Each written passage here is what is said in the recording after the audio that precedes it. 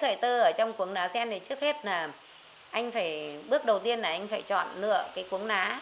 Cuống lá nào để cho phù hợp cái độ tì, độ cắt của cuống lá thì như thế nào để cho nó nhỏ nó vừa tầm với cái dao thì mình phải chọn được cái cái cái cái cuống lá cho nó đều. Ví dụ là cái lá non thì mình chọn riêng mà lá bánh tẻ mình chọn riêng, lá già mình chọn riêng thì khi mình cắt, mình đặt con dao mình cắt thì nó sẽ không bị không bị mình tì mạnh quá mà đứt mất sợi ở bên trong.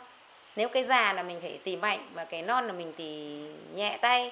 Thế thì cho nên là khi làm sợi là anh phải chọn cái cái sợi tơ, sợi cái cuống lá cho nó đều.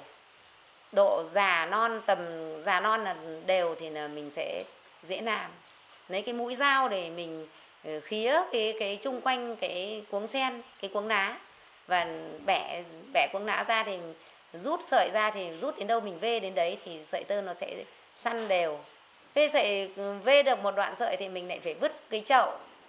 Cái chậu để đựng cái sợi đó vào ờ, hết ngầm một ngày mình, khi mà nghỉ, mình nghỉ thì mình phải quay vào cái ống.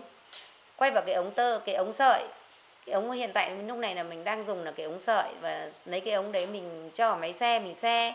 Sợi tơ nó sẽ săn hơn. Từ năm 2017 tôi mới bắt đầu làm và được mấy tháng nó hết mùa. Thì là cũng chưa sử dụng được nhiều mà chưa làm được nhiều, cho nên là khi mình làm ra thì tôi thấy là giặt nó bình thường mà đặc biệt của cái tơ sen là nó không giống các loại sản phẩm khác.